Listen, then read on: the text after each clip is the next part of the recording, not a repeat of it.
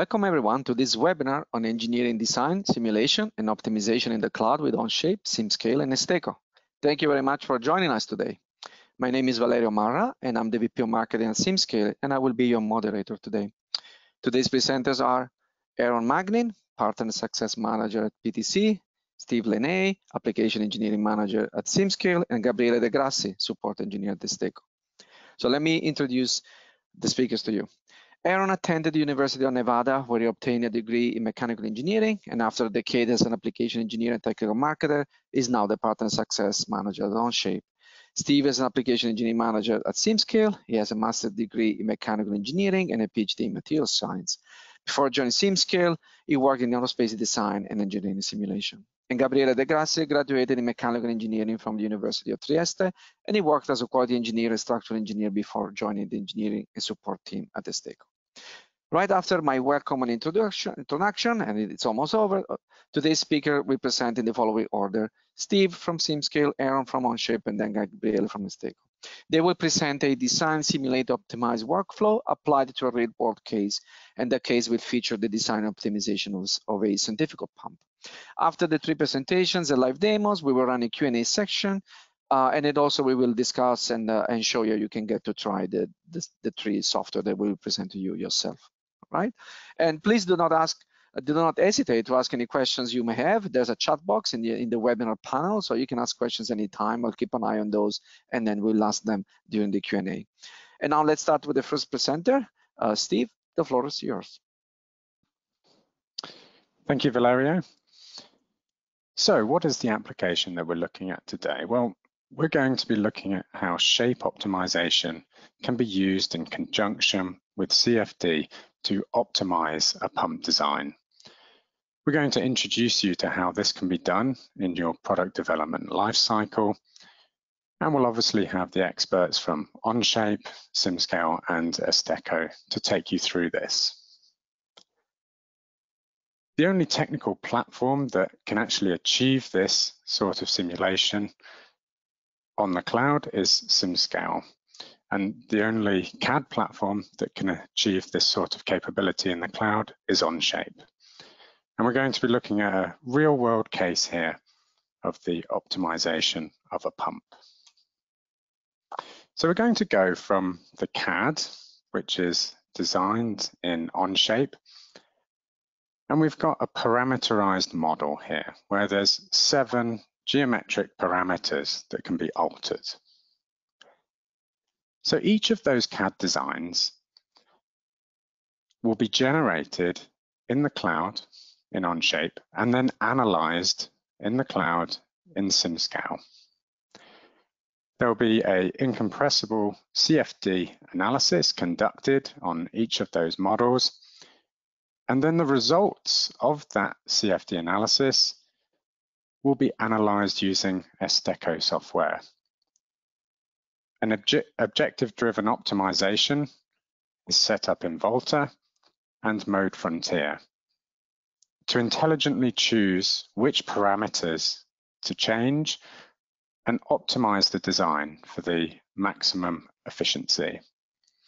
So this is obviously one straight line in the workflow, but there's of course a feedback loop here. So from Esteco, we can then choose which parameters to alter to optimize the design. And then the next geometry will be run in simulation. For this specific CAD, we've got seven parameters. Say, for example, we vary 10 values per parameter.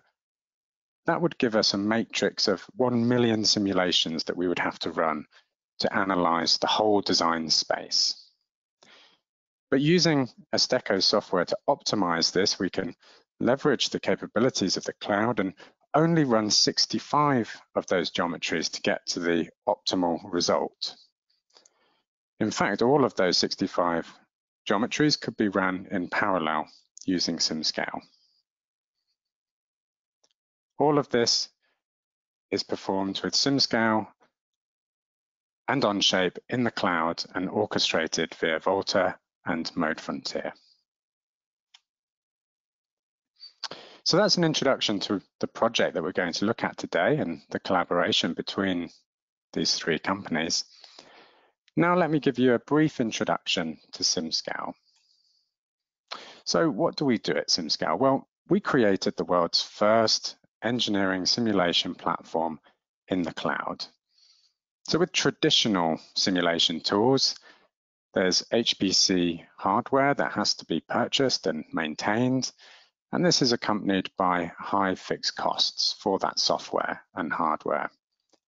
Also, these tools are generally written for specialists, so there's a barrier to actually learn and maximize the value from these tools.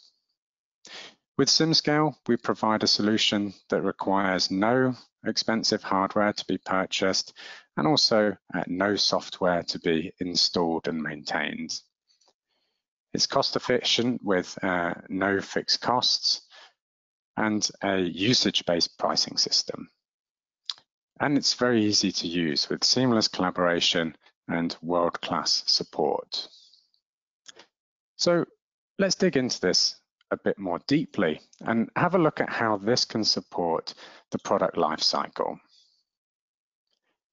So from the concept phase of a product, through to the design and engineering, production and operation, simulation is traditionally conducted in the design validation stage.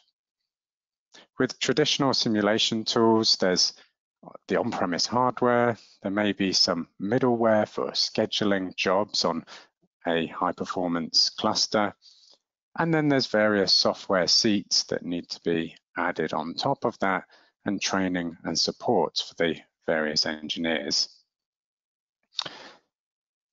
Because the, this whole system is obviously uh, quite substantial, simulation is used at the late stage in the design process to validate designs.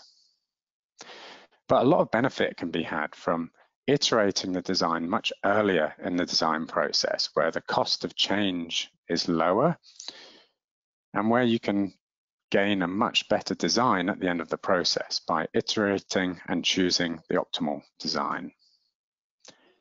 There's obviously um, many other areas where you can use simulation like design space exploration, advanced manufacturing, predictive maintenance, and feeding back information to a digital twin from production to simulation.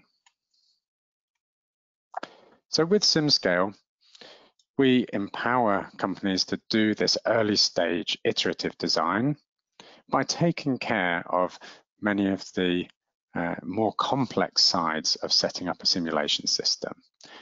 All of the infrastructure, so the HPC orchestration, etc., is taken care of by SimScale. We manage all of that on the cloud. On top of that, we provide simulation technologies to be able to solve multiple physics that you want to simulate. So the physics ranges from FEA, structural applications, thermal applications, to CFD as well. So we cover a very wide range of uh, different physics with the different simulation technologies that are available on our platform. So SimScale is a SaaS application.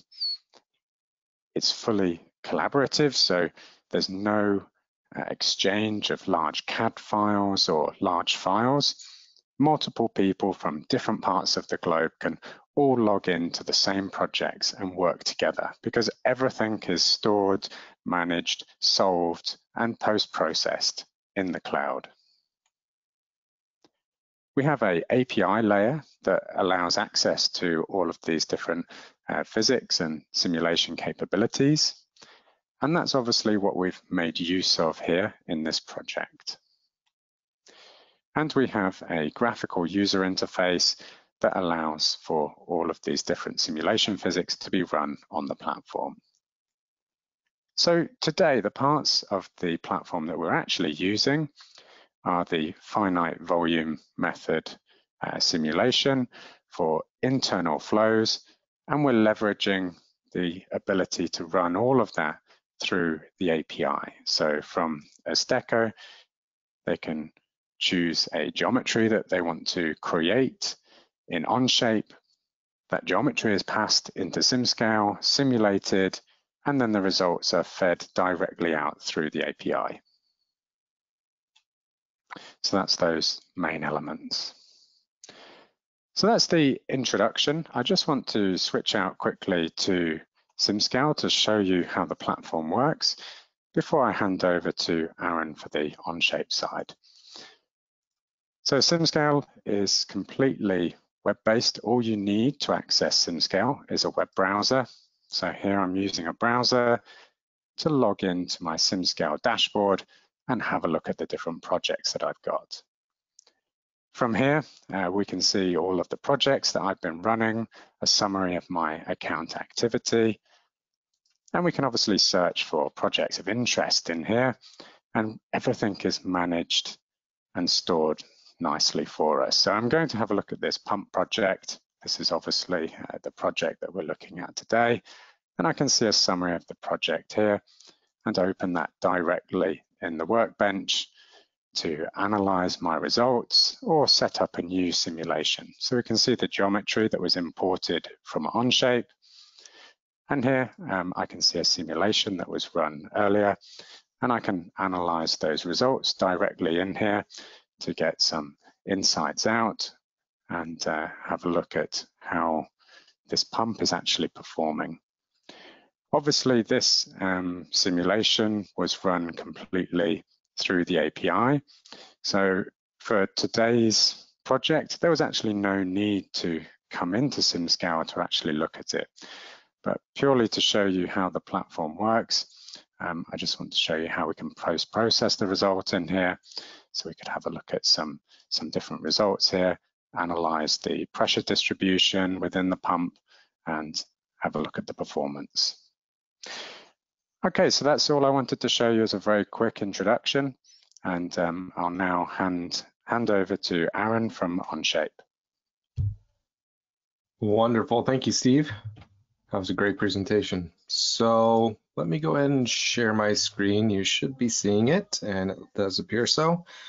Um, considering that, you know, there's three different companies um, advertising this presentation, I did need to start with a little bit of an introduction to Onshape in case, you know, some of you are not currently using uh, this CAD tool. Um, so if you already have a CAD system in place, you're probably wondering why you should consider switching to Onshape. And, and actually, Steve hit on a lot of these same points, but let me reiterate uh, the value of a, a cloud native tool. Um, with the current subject matter, it's a clear-cut decision. You, you simply cannot do the optimization workflow that we're highlighting without the API, the parameterization uh, that, that, that Onshape enables. But beyond that, you have to consider the challenges that you face on a day-to-day. -day. Um, is are your challenges today related to the design of the products? Probably not. I mean, in all honesty, you can make any model in any CAD system but today's engineering challenges are, are beyond design. It's things like, you know, accessing design data remotely, um, internal and external collaboration, cumbersome updates and admin. Uh, I mean, we've all been there. A new release comes out, you, your IT team spends all weekend uh, updating to the new the new system. Um, add-on purchases for for things like PDM and and uh, the, all of these things uh, add pain, expense, and uh, time consuming. It's it's time consuming for for IT departments and engineers. And these are the the challenges that that when we set out to make Onshape, this is what we wanted to address. So with that in mind, um, I did want to touch on this fact um, is that Onshape is the number one fastest growing CAD system as reported by engineering.com. We're not just pulling this out of uh, thin air. Um, with that in mind, we've been growing at a rate seven times that of the, the average uh, CAD tool out there.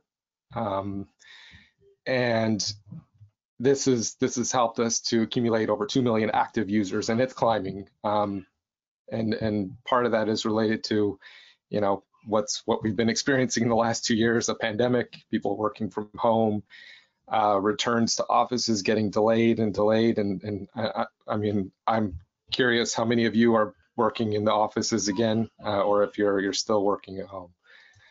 Um, so why are why are people switching to Onshape? It's it's all those challenges that I touched on at the beginning there. It's it's the ability to overcome those challenges uh, with a native CAD solution. Um, native native cloud means all your data and tools are in one place in the cloud. There's no downloads, there's no installation, there's no files, there's no copies. Uh, you have the ability to do you know global real-time uh, collaboration with a single source of truth. There's no copying of files and emailing them or putting them, them on FTP or paying for VPN services and managing that. Um, there's a lower total cost of ownership. Um, because it is so straightforward, there's no upfront licensing costs. There's a subscription, and that's that's it. I mean, uh, there's there's there's a lot of savings to be had by by being able to work so flexibly uh, with whatever you know operating system that you choose to work from, and hardware requirements are really pretty simple when you're when you're working from a cloud application.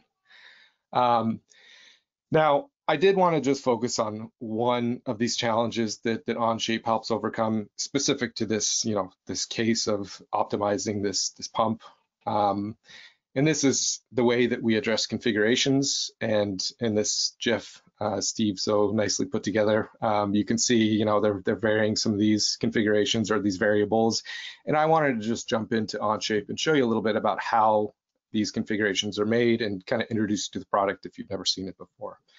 So let's just switch over here and you can see I'm actually live in Onshape right now. I'm gonna take a look at this impeller, um, sorry, pump. Um, and I'm gonna select, you know, just one of the components on here or one of the features, let's say, and you can see this is, you know, when I select it, cross highlights it in the, the feature tree that you see over there.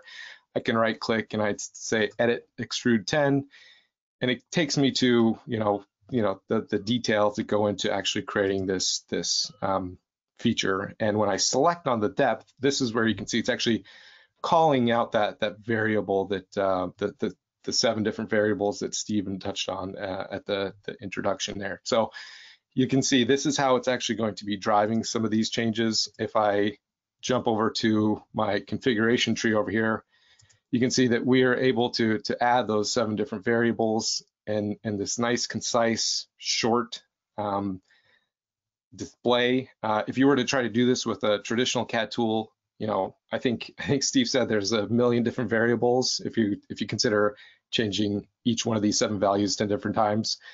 So we're able to to accomplish a very complicated um, configuration uh, in a very manageable space. And I'm gonna actually kind of expand this out. I was hiding it before, but this is where you go if you wanted to to try, you know, maybe we want to try nine impellers um, nine different blades on the impellers or you know change the diffuser angle or, or length. And, and any one of these I can set to, to, to certain values. You can actually set limits to avoid you know going beyond a, a reasonable extent. I mean I don't know if 30 uh, impeller blades is common but uh, it, it, it's possible. It's something that that with our API and this this parameterization of this design, uh, Esteco and, and Sim, SimScale are able to access that data and optimize the design.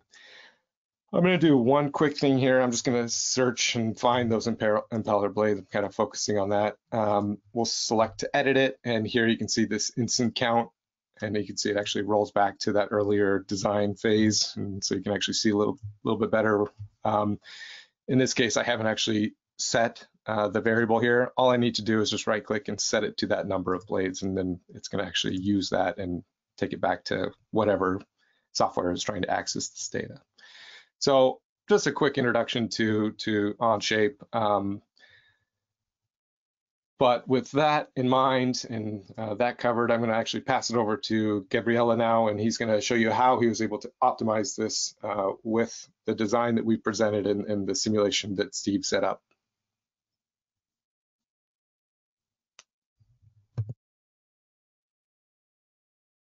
Okay, thank you for your presentation. Uh, let me select my screen now. Okay. can you see the screen? Looks good, Gabriele. Thank you. Okay, thank you. Um, so, uh, as Aaron did, I will start with a very brief presentation of Esteco and about what we do. So Esteco is an independent software company and our main skills are numerical optimization and simulation process and data management.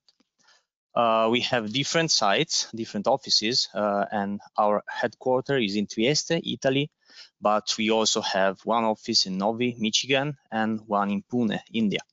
Um, and having them spread all over the world, let's say, uh, helps us in reaching our customers uh, wherever they may be. Um, the products that we're going to use today are modeFRONTIER and Volta. Uh, we're going to use them for the demonstration, obviously, with the uh, models uh, developed by um, the OnShape and SimScales efforts. Um, while modeFRONTIER is uh, the desktop solution for simulation process automation and design optimization, Volta is an innovative web-based platform for simulation process and data management and design optimization. But let's see now a little more, a little bit more in details uh, what I'm referring to. modeFRONTIER allows you to automate the evaluation of your multidisciplines parametric models, um, which are controlled by input parameters and whose response is represented by output parameters. Um, in particular, for the example that you saw from um, uh, from Aaron and Steve, um, we had different input parameters uh, as geometrical parameters, uh, but you will see that we will also use as an input parameter um, the, um, the flow uh, of the pump. Um, so different type of parameters can be used uh, to uh, control your parametric model. Um, then the uh, the automated process can then be used to optimize the model uh, depending on a certain objective that you select or multiple objectives possibly. modeFRONTIER will take care of finding the best results uh, using one of its optimization algorithms. Um, also, the resources can be exploited at their best by allowing parallel computations and also external clusters if needed. Um, furthermore, if after you finish your optimization, you need to better understand your results and what do they mean for you, uh, they can be directly analyzed using the available post-processing environment. With modeFRONTIER, we will build so our automated process for the centrifugal pump simulation, and then we will define the optimization strategy, selecting the algorithm and uh, defining some um, parameters for the optimization. Then the execution and the post-processing will be performed uh, on the web-based platform Volta. So as previewed, Volta is a collaborative web-based platform uh, and it is designed for simulation-driven product development uh, and it's built around different technologies uh, for each step of the simulation process. The core of Volta is the simulation data management and it's the place where you can store, organize, and share all your simulation models, files, and projects. Then, with the simulation process integration and automation technology, you can integrate every model and every simulation software within a single simulation workflow. In the end, design optimization, HPC and cloud, and simulation data analytics technologies will allow you to optimize your model, to distribute your computations, and to post-process your results, all directly from your laptop browser. So before moving to the live demo, let's see what's the big picture for the next steps. Um, the whole optimization process, including modeling and simulation, can be easily mapped using the business process management tool uh, that is available in Volta. Uh, and the result of this optimization process is pictured here. You can see that uh, the operation of um, model creation and simulation model creation, together with also um, the writing of the API script using both APIs from OnShape and SimScale, uh, these phases are completed. So now it's Esteco's turn uh, to go on with the whole process, the overall process. And based on the script obtained from the joint effort of OnShape and SimScale, we will now build the automated process workflow in ModeFrontier, then again, define the optimization strategy, upload the whole project to Volta, and then uh, perform the optimization on dedicated resources. After that, after it is over, of course, I will not uh, make you wait until the whole optimization is over, uh, but we will post-process the results and share them possibly with our partners. So now let's move on to the demo. Um, whenever you access ModeFrontier, uh, the first environment we meet is the homepage, and here you can find some uh, template workflows uh, that are useful for a beginner. Uh, we can access some recent, projects, or you can access uh, some useful tools like the user guide or our website, uh, where you have multiple resources available. Uh, but let's just move to the creation of our project. This is the workflow editor, and this is where we will create, uh, as you can guess, our workflow, uh, our automated workflow.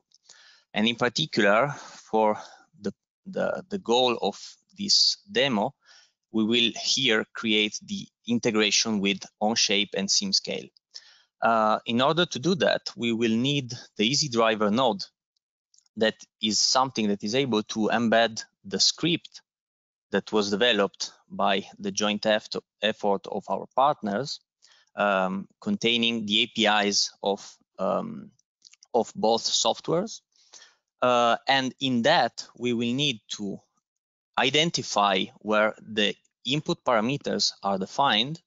And you can see here the blade angle, for example, but which is a geometrical parameter, but also the flow rate, which is a um, simulation parameter, uh, they can be uh, modified, their values can be modified by defining what are called replacement rules. So basically, ModeFrontier will just replace the value written here with a new value um, that is defined by the algorithm or uh, by um, anyway ModeFrontier if you're uh, trying to evaluate a predefined sequence of designs, for example.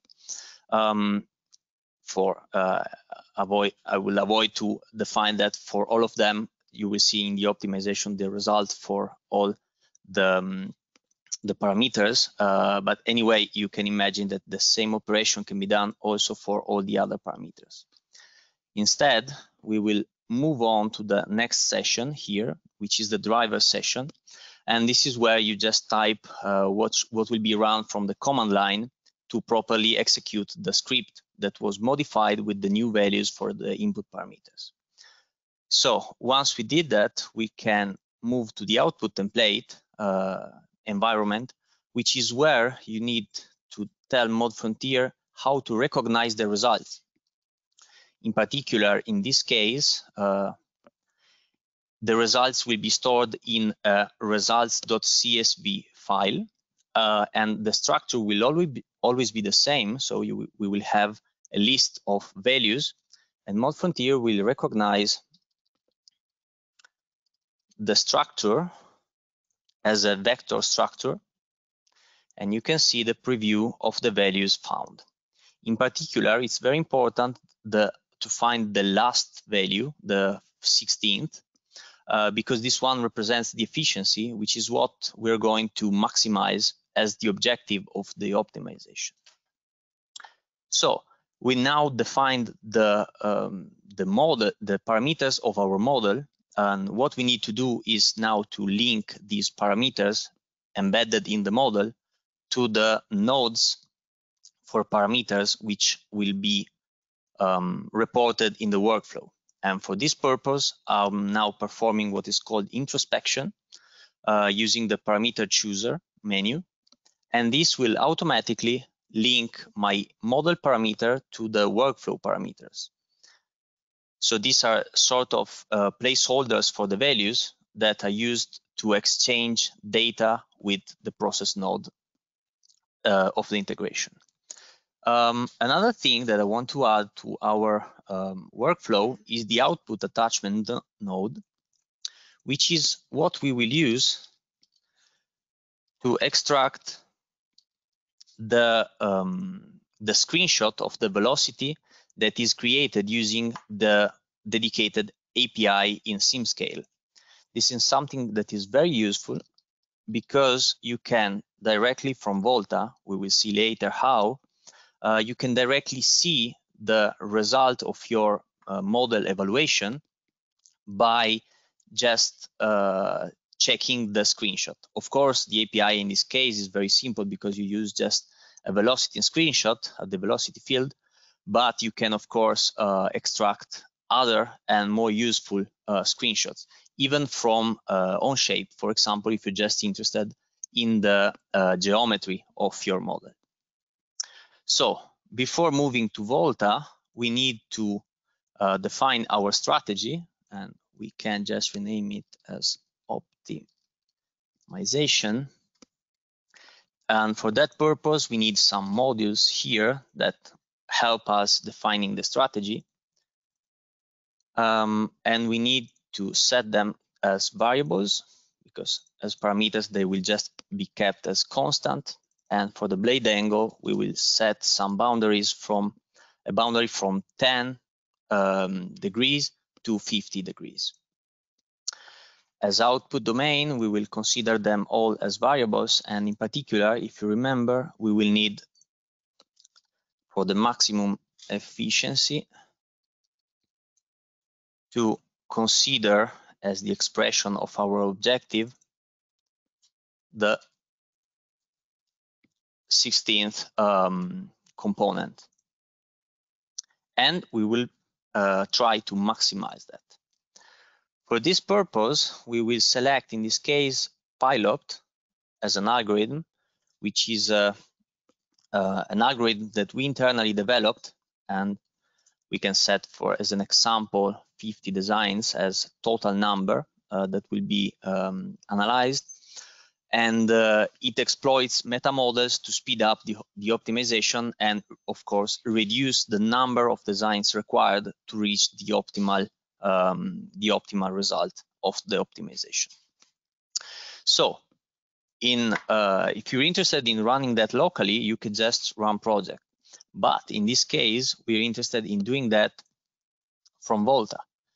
So we can access to Volta.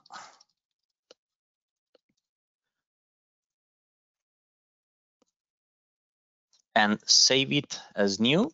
So we can call it process workflow. And we can save it inside our team. So OnShape, SimScale, and Esteco team, which is now created in Volta, and that allows the sharing of data or files of scripts or whatever you need uh, in between the interested persons. So now everything is updated and we can now move to Volta we can access our team here and you can find the process workflow that we just defined.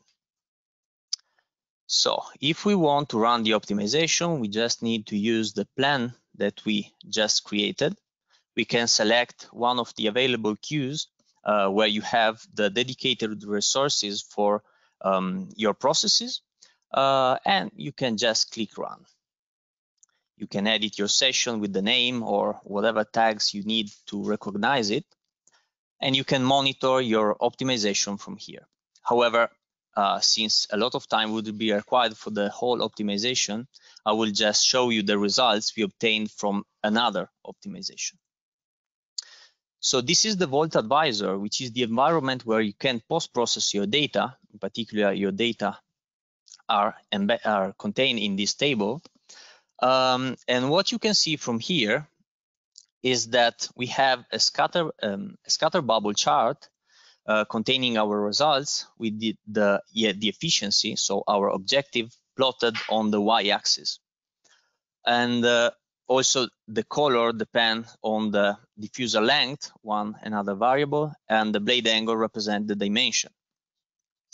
Um, the interesting thing is that, and maybe you have noticed, uh, the screenshots that were extracted from each model evaluation can be seen directly from here and they can change together with the selection of the design. So without showing you all of them, uh, since we're interested in maximizing the efficiency, I will just show you the best one, which seems to be the number 50. If you want to investigate more uh, how the design number 50, uh, how it is shaped like, we can move to the radar chart, for example, and the type design number 50, and you can see the values of the parameters for the design 50. So if we see that and we are fine with the choice of our, uh, let's say, best result, we can finally say we obtained our optimized centrifugal pump. So after model defi definition, simulation definition, uh, automated process and optimization, we finally reached our goal. And we can share the results with our partners, hoping to see the product on market soon. Um, and that's all from my side. Thank you for your attention. Uh, thank you for your presentation. And now it's, you know, it's time to take some questions from the uh, audience. You know, we'll do our best to answer to all your all of the questions that you have in the remaining time. And you know, we will get back to you in case you know we we we, we can't. All right, so uh, we have similar questions more or less for uh, at least now in the beginning. I'm, I'm getting the same question, which is uh, we can how can we we can try you know the three software that we we showed, and uh, and maybe I'll start you know with Steve and then Aaron and then Gabriele. You guys can explain the audience how to get in. So Steve, you you you should be first. Go ahead. Yeah, thanks, Valerio. So yeah, that's that's a great question. We have various ways that you can trial the software. If you're a, um, a hobbyist user, you can use our community version of SimScale. All you need to do is go to simscale.com and you can set up an account and uh, start using the community version. That is a bit limited. You don't have access to everything, obviously. Um, you don't have access to some of the simulation types and the advanced capabilities and you can't use it for commercial use. But from simscale.com, you can also request uh, to be connected to, to us, and then uh, we can reach out to you. An application engineer uh, can take you through the software, and we can see how SimScale can add value to your organization. Thanks, Valeria. Thank you, Steve. Aaron, what about OnShape? Yeah, to, to get an OnShape trial, probably the easiest way is just go to Google and search OnShape professional trial. I believe we have a slide coming up soon that'll have some the actual URL that you can go directly to it. It's a 14 day trial, uh, gives you all the, the same capabilities that any professional uh, subscriber would get. In addition, uh, there is a free version that you could use as well. Uh, the one caveat to that is that uh, any of your documents would be public, so uh, you'd be sharing them with every other Onshape user out there. So that's it for me. Thank you, Aaron. Gabriele? Uh, as from my side, um, on from you can try both uh, Frontier and Volta. Volta is a, uh, requires some more time to set up the the installation. Uh, while modeFRONTIER, if you're interested in uh, getting in touch with uh, uh, is something that you can install on your computer. Um, and you can directly request a, a demo at info at esteco.com. Um, however, if you're interested in Volta instead, uh, you can still contact info at esteco.com and my colleagues uh, from the professional services uh, will be uh, happy to help you set up the installation. Uh, anyway, you can find all the informations uh, in our website. So esteco.product.com. Um, Got it. Thank you so much. Uh, and then, you know, since we were talking about uh, the, the, cloud, you know, this product uh, um, harness the power and the flexibility of the cloud. Uh, one question that comes natural is when there are updates, how does that work, right? And I get this question because if you have a desktop software, you have to download a huge file, install it, and then sometimes things don't don't go as they should, and then you have to reinstall the OS version. So question for the audience is how that works for all three software, and uh, yeah, we can start from Steve again. Okay, yeah, great question. Um, obviously, with the legacy software, release cycles are such a huge thing. Um, the features get released on a specific schedule. You find out what's coming and you have to install all that uh, software on your servers, make sure it's ready for production, etc. With SimScale, we're pushing out updates all the time. Uh, when these updates impact our current user base, we obviously communicate uh, what is being updated. Um, but some of the smaller things, you just don't notice them happening from one day to the next. You log in to SimScale um, and there's been slight improvements and changes. So that's one of the fantastic things about um, SaaS software. You, you don't have to wait for a specific release cycle. The updates, as soon as they're ready, are pushed out uh, to the software. Thanks. Aaron? Yeah, uh, for everything Steve says, I could pretty much just say ditto. Uh, uh, the updates happen unbeknownst to you. Uh, the, the only indication is probably the new features that you'll find, and, and you'll get a, a small pop-up that tells you there's been a new release. We do release uh, about every three weeks, and I think we're coming up on 150 releases pretty soon here.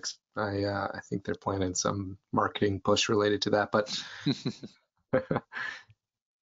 awesome, thank you. And then Gabriele? Uh, instead, on, on our side, uh, we have a slightly uh, lower frequency of update of the products, but anyway, we can uh, come out with three different new releases uh, regularly separated each year. So for each year, you will find modeFRONTIER uh, release number one, two, and three. One in March, one almost uh, midsummer, uh, and the other one um, we just recently released it in the previous two weeks. So yeah, uh, you just need to to download the installer and then uh, update the software. Thank you. Awesome, awesome. Thank you. Um, there's there's many questions about, and this is interesting uh, because I, I guess it's not a problem for us, but it, it may be with other tools. Okay, can you simulate this application on this other, for example, um, you know, an engine or a, a, biomedical device? And I think, you know, I think this time we can start with Aaron, right? If there are any geometric limitations, and then the question for Steve is, is there anything that you cannot simulate in SimScale because of the size or complexity of the resulting mesh? And the next, uh, then the last Gabriele to say, is there, you know, does it really matter how big the model is? So I think we can start with Aaron. Yeah, I mean, large large model management has always been a difficult subject for on-premise. I mean, you're basically limited by your hardware, right? So people will spend quite a lot to try to improve their performance. What you'll find with Onshape is that that uh, you can work with some extremely large models. Um, you can work on pretty much any design, as I mentioned in my presentation. I mean, the design part's not really the limiting factor these days. It's it's um, it's more the the the other challenges that we face. Um, but yeah, um, we are we're we're working to improve our large assembly uh, management as well. There's always room for improvement there. So. All right, thank you, uh, Steve. Yeah, so you can handle very large models in SimScale. Um, as with any simulation platform, the limitation comes more down to the level of detail than the actual uh, size of the model itself. So um, obviously defeaturing is still a thing um, that is recommended for simulations in SimScale, and we have embedded capability within the SimScale platform to be able to help you with that. So you can edit your CAD within SimScale to remove certain features and uh, split models up Obviously, larger models, so long as you've got some symmetry, can be run symmetrically so that you're saving computation and mesh. But essentially, with so much computation, computational power at your fingertips with SimScale in the cloud, there's uh, many capabilities. Right, thank you, Steve. And, and Gabriele? Uh, regarding the size of the models, uh, Frontier and Volta both are able to handle uh, every dimension of, of file as uh, as much as you have enough space on on your storage. Um, the limit might be on the softwares, but it's not a limit. It's just a different way of handling different softwares. So yeah, for example, as you saw with OnShape and SimScale, we were able to just easily implement, um, sorry, integrate their models with some just some scripting, and then the the software handled everything else. So yeah, that's most of it.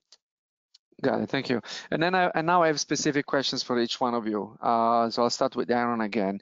Uh, so Aaron, we need to shed some light on this. Is, is that true that the SolidWorks founders started OnShape?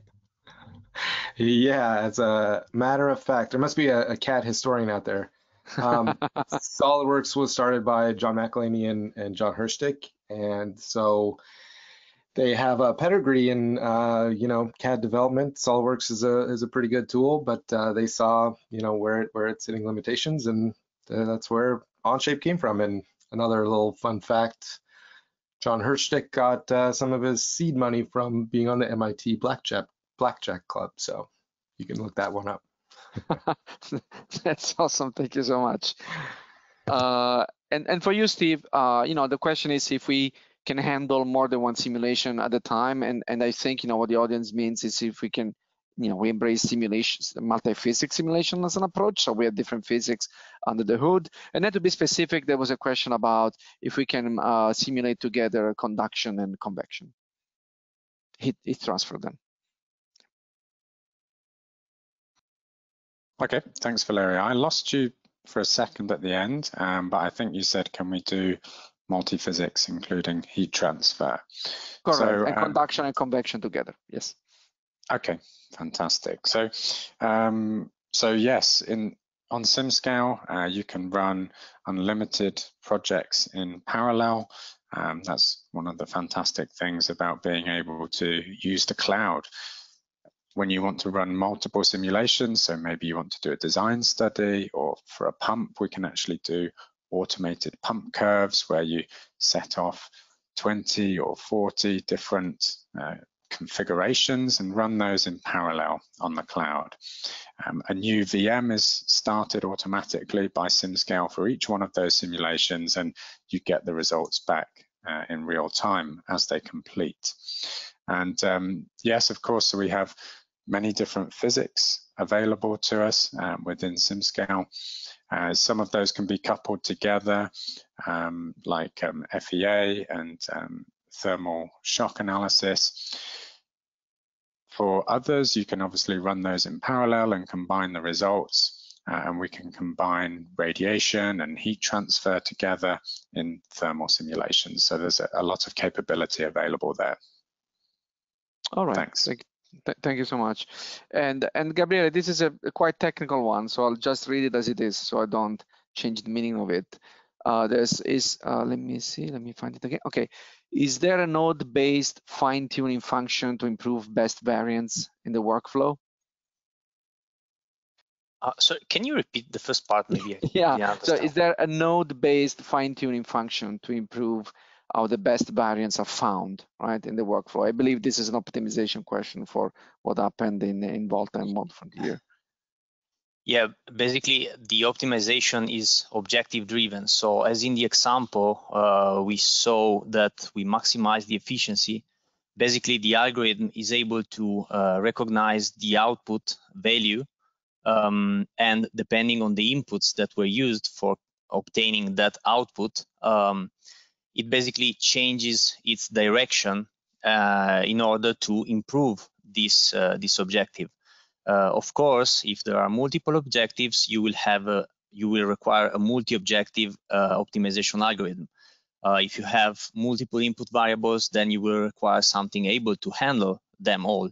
Um, so yeah, we have different algorithms that are able to handle different problems um, and also depending on the um, the time available for uh, the the customer. So we have different algorithms for different needs, and uh, yeah, it, it's it's a, a, complicated answer, but it's also uh, a complicated matter to um, to just sum it up in a few words. So yeah.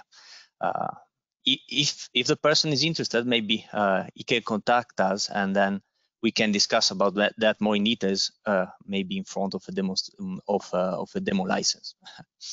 Right, right, makes sense. Thank, thank you so much.